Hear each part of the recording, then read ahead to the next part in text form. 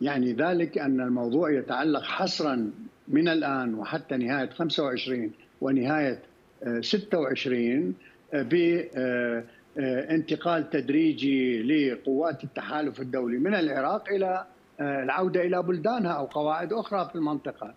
لكن ما يتعلق بالعلاقات العراقية الأمريكية ستشهد بالتأكيد انتقال نحو يعني شراكة اقتصادية شراكة سياسية شراكة تكنولوجية اجتماعية طاقوية بمعنى أدق تنفيذ كامل ودقيق لاتفاق الإطار الاستراتيجي بين بغداد وواشنطن في 2008 فطبيعة العلاقة ستذهب نحو التركيز على جوانب أخرى وليس الجانب العسكري فقط لكن الجانب العسكري سيبقى يعني من يقدم صيانة مثلا لطائرات الاف 16 اليوم موجود أكثر من 25 خبير ومهندس أمريكي من شركة اف 16 يعني الطائرات العملاق نعم. للقوة الجوية العراقية بأغراض الصيانة المواد الاحتياطية التدريب يعني كل ما تطير الطيارة طلعة جوية وتنزل المفروض هناك